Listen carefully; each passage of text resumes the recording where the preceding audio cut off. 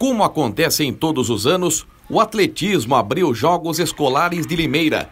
Centenas de alunos lutaram por medalhas em três dias de competição na pista do SESI.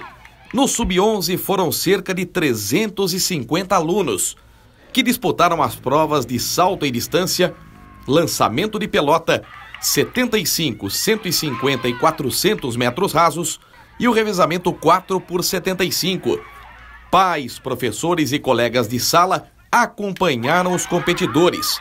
No masculino, o Colégio Axis foi o campeão, tendo somado 37 pontos. O Colégio Aprovado ficou em segundo com 30. Já a MF José Carvalho Ferreira ficou em terceiro lugar com 27.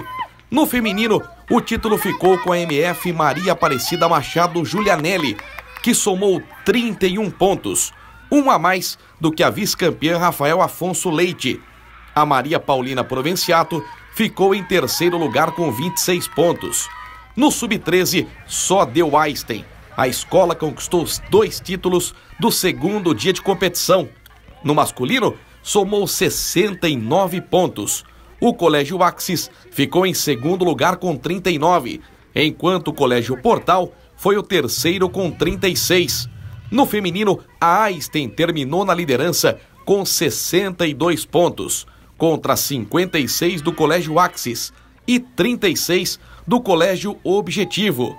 O último dia de competição foi dedicado às categorias Sub-15 e Sub-17. No Sub-15 masculino, o Colégio Técnico de Limeiro Cotil foi o campeão, tendo somado 66 pontos. A organização Einstein ficou em segundo lugar com 61, seguido pelo Trajano Camargo com 39.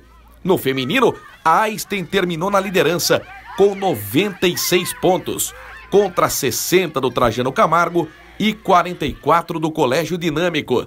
Já no Sub-17, só deu Cotil. O Colégio Técnico de Limeira conquistou os dois títulos. No masculino, somou 90 pontos. A irmã Maria do Santo Inocêncio Lima ficou em segundo lugar com 54, enquanto o Colégio Portal foi o terceiro com 45. No feminino, o Cotil terminou na liderança com 93 pontos, contra 67 do Colégio Portal e 47 do Trajano Camargo.